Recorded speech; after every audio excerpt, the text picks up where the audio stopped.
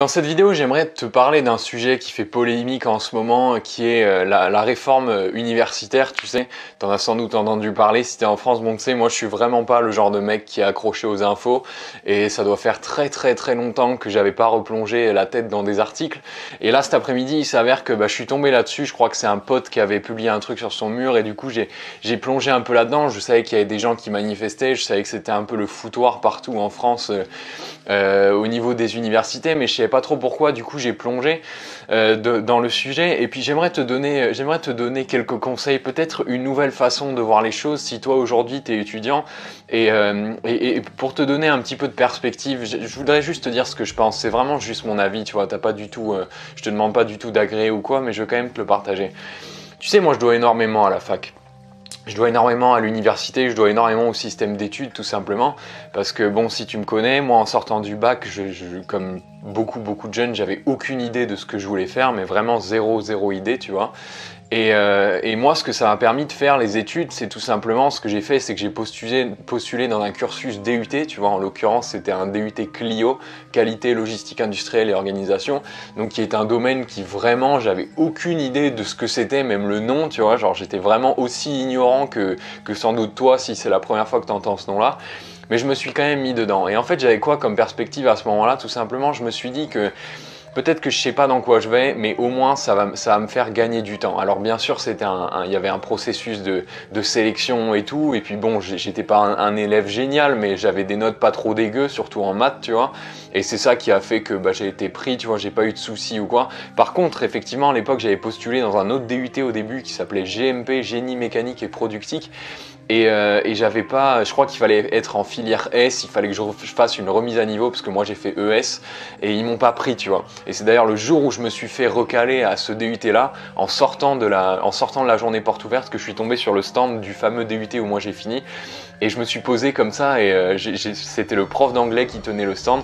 On s'est posé comme ça, il m'a offert un café, un croissant, on a discuté pendant trois heures et il m'a tout simplement convaincu de venir là, tu vois. Donc j'y suis allé vraiment parce que j'avais accroché avec le prof d'anglais et vraiment pour pas grand chose d'autre quoi. Et vraiment, tu vois, enfin encore une fois, je te le répète, je dois énormément à la fac, je suis très très content, ça m'a vraiment permis de grandir ces deux années. J'en parlais avec un pote, mais je disais, moi je suis vraiment pour cette idée que, je suis vraiment pour cette idée qu'il y a un filet, tu vois. Là, l'idée c'est que c'est que on va on va faire une sorte de sélection selon la réforme. Ils disent que c'est pas le cas, mais en gros, ce qu'ils vont faire, c'est que ils vont se réserver le droit de, je crois que c'est qu'il y a des critères et que s'ils sont pas, en gros, c'est une sorte de sélection au final qui va être mise en place. Et moi, je suis, ça, ça m'enchante pas trop parce que je pense que c'est vraiment quelque chose de bien qu'il y ait toujours un filet sur lequel on puisse se reposer. Parce qu'il faut se mettre à l'évidence, à la sortie du bac, je sais pas quel âge ou quoi, mais à la sortie du bac, c'est très très rare les gens qui savent ce qu'ils veulent faire. C'est complètement, tu vois, c'est même contre nature. Enfin, je veux dire, dans, dans, le documentaire là que je regardais, il disait que euh, il y avait énormément de, de filières qui étaient euh, qui étaient sous tension. C'est ça qu'ils appelaient des filières justement où il y avait trop trop de candidatures et que c'était là qu'ils allaient faire une sorte de sélection. Et le plus, le plus aberrant, c'est que ces filières-là, ce sont des filières comme le droit par exemple, qui sont pas du tout enseignées quand on est au lycée. Tu au lycée, on n'a pas de droit. Donc comment est-ce qu'on peut juger en fait des, élèves comme euh, inadaptés ou que, des dossiers comme inadaptés au moment de rentrer? Enfin bref, je trouve ça idiot. Et je pense que c'est vraiment une bonne chose d'avoir un filet sur lequel on peut se reposer parce que même si tu sais pas ce que tu veux faire, le fait de rester en fac, le fait de savoir que tu vas quand même avoir une place en fait ça te permet d'avoir euh, du, temps en fait, passer du temps. Moi je, recommande souvent à des gens qui sont paumés de choisir quand même un cursus de un an ou deux ans juste pour se donner le temps de mûrir. Parce que tu sais, on, pense souvent qu'il n'y a que les études et il n'y a que le cursus qui te forme, mais c'est pas vrai. On oublie que ce qui, forme la plupart du temps, c'est le temps que tu passes, tu vois. Un an, deux ans, tu grandis dans ta tête, tu t'affirmes, tu, vis d'autres expériences et du coup tu sais beaucoup mieux ce que tu veux.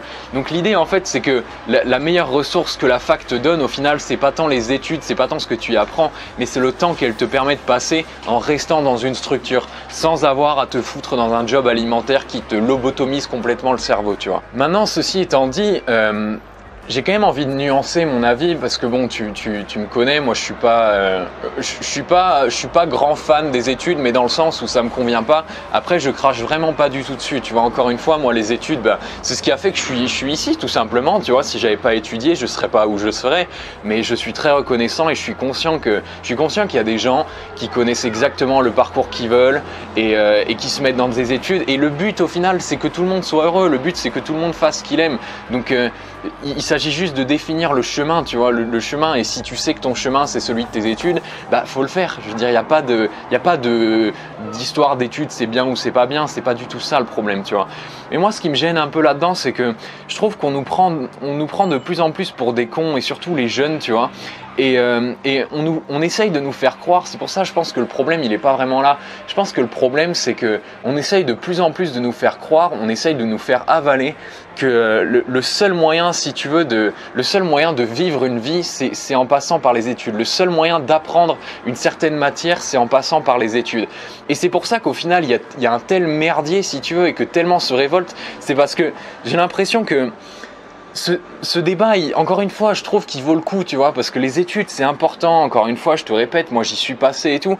Mais d'un autre côté, je pense que c'est vraiment, je pense que c'est vraiment une, une, géniale opportunité pour nous, pour nous rendre compte que tout simplement, on peut aussi prendre en charge notre éducation à nous, tu vois. Je trouve qu'il y a un énorme problème aujourd'hui chez les jeunes notamment, et c'est pas de leur faute, tu vois. Mais euh, cette espèce de bourrage de crâne, comme, quoi il faut absolument se caser, comme quoi, enfin, je veux dire, faut, faut regarder les choses en face. Aujourd'hui, encore, le discours dominant, c'est celui qui dit que euh, celui qui a le plus haut niveau d'études de, de, ou de diplôme, bah, c'est lui qui a le meilleur job. Mais il y a un truc qu'on oublie de nous dire, tu vois, il y a un truc qui est complètement omis, c'est que c'est pas c'est pas les études qui te détiennent le job, tu vois. C'est pas comment dire, c'est pas c'est pas juste ça, c'est pas juste le savoir.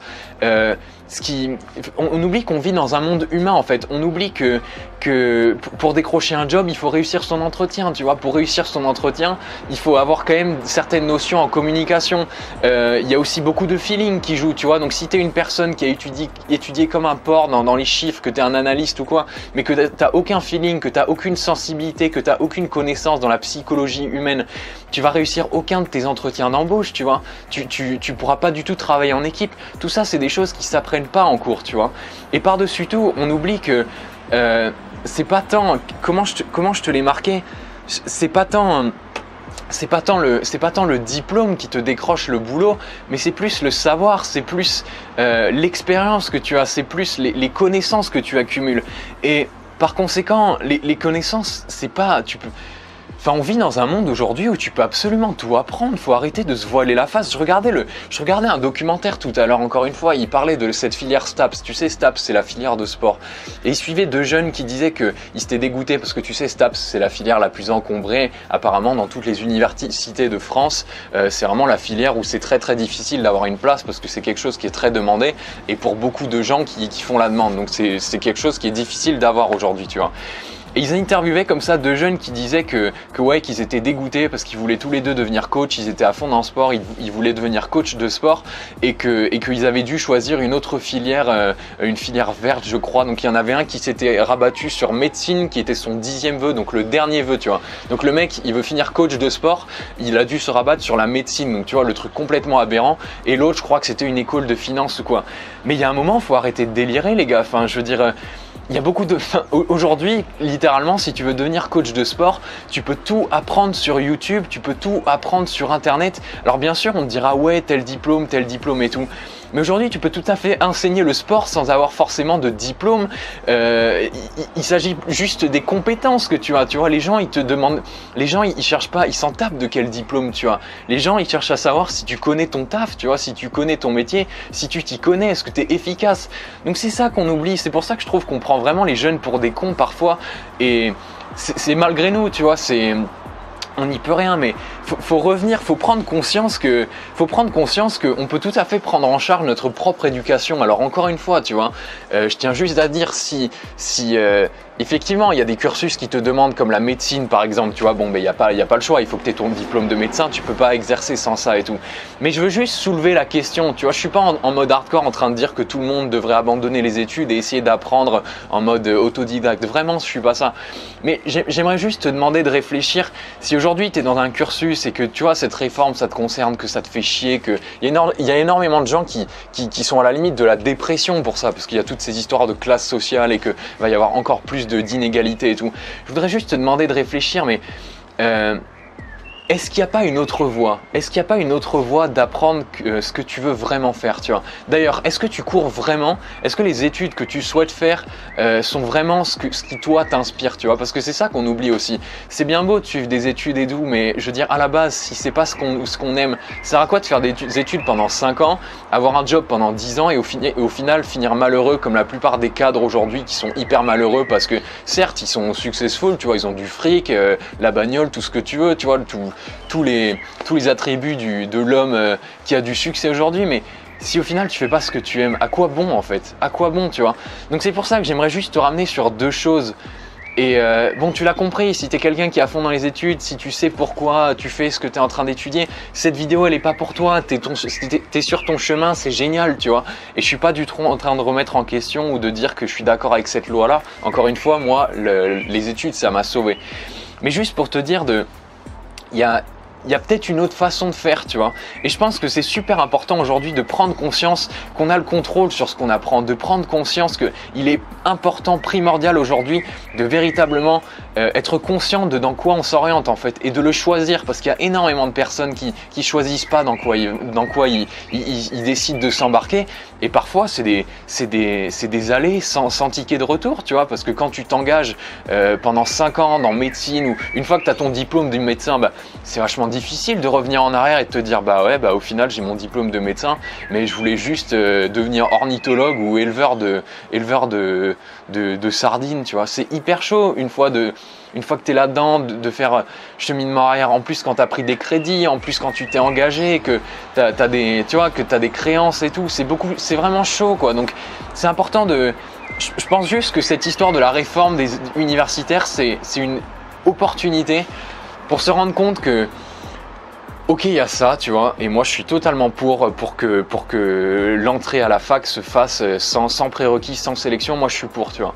Mais je pense que c'est une bonne opportunité pour se, se demander est-ce que est-ce que vraiment euh, est-ce que vraiment il n'y a pas un autre moyen d'apprendre ce qu'on ce qu'on veut m'empêcher d'apprendre? Typiquement, aujourd'hui Internet, les, les, les, possibilités sont énormes, tu vois. Elles sont vraiment. Moi, j'en connais des tonnes des coachs sportifs sur Internet qui n'ont pas du tout fait d'études, mais qui juste apprennent, tu vois. Par exemple, j'ai arrêté les études, mais j'apprends trois fois plus de choses aujourd'hui chaque jour que quand je faisais des études. Vraiment aujourd'hui, je passe mes journées à apprendre des choses et des, choses qui me plaisent et des choses qui me servent, tu vois. Des choses qui me servent parce que je les retransmets aux gens qui me suivent, des choses qui me servent dans ma vie parce que, ben, je sais pas, je me suis intéressé, intéressé à la psychologie, la négociation. Du coup, comment, comment utiliser toutes ces techniques-là pour décrocher des jobs, pour négocier une caisse, pour... Euh, pour tout ça. Donc aujourd'hui, j'apprends encore plus que quand j'étais en cursus universitaire. Donc est-ce qu'il n'y a pas un autre moyen? Et est-ce que tu peux pas prendre en charge ta propre éducation? Est-ce que c'est pas une occasion de, se lancer, de voir ce qui existe? Il y a plein de façons. Aujourd'hui sur internet, tape, fais des recherches, mais je te jure, tu peux toujours trouver. Même, même pour les gens, même si je sais pas, si, même si tu veux euh, hacker un peu ton programme de médecine et que tu veux connaître une, je sais pas, il y a plein de gens qui enseignent des trucs sur la médecine aujourd'hui euh, en dehors des programmes et ce serait tellement dommage de passer à côté de cette opportunité là, tu vois. Vraiment, vraiment. Encore une fois, je vais te donner un dernier exemple et cette vidéo sera longue, mais c'est pas grave, tu vois. Mais je, je, connais une personne qui, qui, a une, qui a fini sa licence aujourd'hui, tu vois, et euh, qui est partie voyager pendant un an et, euh, qui, avait déjà en projet, tu vois, de tout de suite euh, en revenant, de finir dans son master ou quoi. Bah devine quoi, avec le voyage, elle, s'est fait une telle expérience et elle est tombée amoureuse de, la plongée, tu vois, une, discipline qui a absolument rien à voir avec ce qu'elle faisait, un truc qu'elle connaissait pas. Et grâce au voyage, je l'ai revue récemment, elle est revenue de voyage, tu vois, on a parlé tous les deux et j'ai pu sentir dans, dans ce qu'elle me disait, tu vois, que, que, que, c'était bon, tu vois, que la plongée, ça l'avait mordu, elle, était à deux doigts, enfin elle hésitait vraiment en, mode euh, je, vais, je vais retourner en Thaïlande, tu vois, je vais devenir prof de plongée. Donc juste pour te dire, pour sait, on va en finir ici, tu vois, mais c'est qu'il y a d'autres moyens de grandir. Et c'est pareil, on parlait du voyage, mais le voyage c'est un outil absolument magistral pour te donner du temps, tu vois. C'est pareil, si aujourd'hui tu sors du bac et que tu te sens capable de partir en voyage, euh, mais pars en voyage, pars en voyage 10 fois, 10 fois, 20 fois plus, je te le recommande que de, te mettre dans un cursus ou, fais-le si tu veux, mais pars en voyage, tu vois. Moi je suis halluciné à quel point, à quel point le, système est mal foutu aujourd'hui pour tout ce qui concerne les années de césure. C'est un vrai bordel pour demander une année de césure. Je, pense, je trouve que pense que l'éducation nationale ou ce que tu veux, tu vois, les, lois devraient vraiment faire quelque chose autour de cette histoire de d'encadrer le voyage et de faciliter ça aux étudiants, tu vois, de pouvoir partir pendant un an, parce que ils auraient tellement de gens qui, le voyage, ça t'ouvre l'esprit. Quand tu rentres de voyage, tu sais beaucoup plus tu as, une idée beaucoup plus claire de qui tu veux être, dans quelle filière tu veux te, lancer. Donc plutôt que d'amasser des gens comme ça en filière et effectivement d'emboucher tous les, cursus, parce que euh, forcément, tu as des gens qui se foutent dans, du droit, tu as des gens qui se foutent dans l'économie, mais qui ont aucune idée de ce que c'est. Et du coup, bah, au bout d'un an, ils se réorientent parce qu'ils se rendent compte de ça. Si on commençait à encadrer le voyage, si on commençait à encadrer ces fameuses années de césure, le, bordel aujourd'hui pour demander une année de césure, faut monter tout un dossier, enfin c'est un vrai bordel, je l'ai vu de près ça, tu vois, crois-moi, c'est un vrai foutoir. Si aujourd'hui on encadrait beaucoup mieux le voyage, ce serait tellement plus facile, les gens seraient, beaucoup plus sensibles à ce qu'ils veulent faire au fond d'eux et, du coup ça orienterait tellement mieux. Donc voilà, écoute, c'est mon opinion sur, sur toute cette question et c'est passionnant tout ça, tu vois. Je dis pas que c'est l'opinion de tout le monde, euh, chacun a son avis, mais c'est vraiment mon avis sur la question. Écoute, si tu veux aller plus loin, euh, si tu veux aller plus loin dans tout ça, et si tu t'es reconnu là-dedans, et si, si tu, tu, trouves un peu de justesse dans tout ce que je t'ai dit, dans, dans, cette façon de voir les choses, je t'ai préparé un pack euh, de deux formations. Euh, les deux formations dans lesquelles tu, on parle exactement de tout ça en fait. Dans la première formation qui s'appelle, attends que je te retrouve ça. Donc la première formation de ce pack, c'est euh, c'est celle qui s'appelle la nouvelle façon de s'orienter. C'est un truc que j'ai sorti juste après être rentré de voyage euh, et où j'ai condensé en fait toutes les toutes les techniques pour que j'ai que j'ai découvert tout simplement au fil après un an et demi de voyage pour mieux s'orienter. Et en fait, il s'agit de trois jours pour utiliser ta créativité et ton intuition comme une boussole et construire un, quotidien qui a du sens pour toi. Dans le jour 1, on va voir comment se libérer de la pression euh, castratrice d'avoir un futur et, et de, de, forcément devoir faire des études et tout, parce qu'il y a tellement de gens aujourd'hui qui sont vraiment emprisonnés à cause de ça, d'avoir un futur stable et de reconnecter avec ton intuition et ta créativité. Dans le jour 2, on va voir comment se créer un environnement qui te porte et te pousser vers le On va faire la liste des domaines vers lesquels tu tends naturellement en fonction de ta personnalité, en fonction de, qui tu es toi tout simplement. Et euh, des techniques pour rentrer, euh, pour, recentrer ton mental, même quand tu te remets à douter de tes projets, parce que ça, c'est, c'est, la première chose qui empêche les gens aujourd'hui de se lancer dans ce qu'ils veulent faire vraiment, c'est quand on se met à douter, parce que forcément, les, chemins, les, les, sentiers battus, tu vois, sortir des sentiers battus, c'est jamais facile quand on est solo. Dans le jour 3, on va voir la, liste des règles pour vivre avec tout ça et pour que la transition soit douce parce que souvent quand tu te mets à, changer et quand tu prends vraiment conscience que, que tu peux avoir un, réel impact et que tu peux choisir ce que tu veux devenir, qui tu veux être, euh, parmi ton entourage, ça commence à... Enfin, des fois, ça, ça coince, tu vois. Donc, on va voir comment vivre avec tout ça. Donc, ça, c'est la première formation. La deuxième formation euh, qui s'appelle Job Facile, euh, on revient sur la thématique du voyage et c'est une, une, formation que j'ai fait pour tous ceux qui veulent partir voyager et qui veulent travailler sur la route et pour que ça se fasse vraiment sereinement. Parce qu'il y a plein de gens qui, énormément de gens qui se lancent dans l'aventure du voyage, mais qui, qui, foirent complètement toute cette expérience à cause du fait qu'ils n'arrivent pas à trouver de job parce qu'ils n'ont pas de structure pour trouver euh, un job. Et donc ça, c'est une formation que je t'ai fait pour décrocher un job à l'étranger où que tu ailles de façon très très facile avec, euh, avec des techniques qui marchent. Donc on va voir le plan d'action étape par étape pour trouver un job n'importe où en voyageant à partir euh, et partir à, l'aventure serein. Donc on va la, la, liste des règles du jeu pour trouver un job à l'étranger. On va voir passage à l'action sur le terrain. Bon, tout ça, je te l'ai mis dans la description. Je vais pas tout lire, ça prendra 3 heures. le meilleur truc que tu peux faire, c'est que tu te fasses un avis toi-même. Euh, en tout cas, cette formation-là, ce pack, en gros, euh, donc c'est un pack de deux formations. Et dans ce pack-là, avec cette offre-là, euh, chaque formation te revient à environ 37 euros. Donc c'est encore moins, c'est encore, encore plus avantageux que à leur prix de lancement. Donc tout ça, c'est valable jusqu'à lundi. Je t'invite juste à regarder après lundi, l'offre sera retirée. Donc tout ça, c'est dans la description. Si ça t'intéresse, euh, tu peux y jeter un œil. Et moi, je vais te laisser là, mon ami. Je vais te dire à la prochaine. Je te retrouve à tout de suite, euh, juste en dessous. pour le pack et pour les formations. et voilà, à la prochaine mon ami. Ciao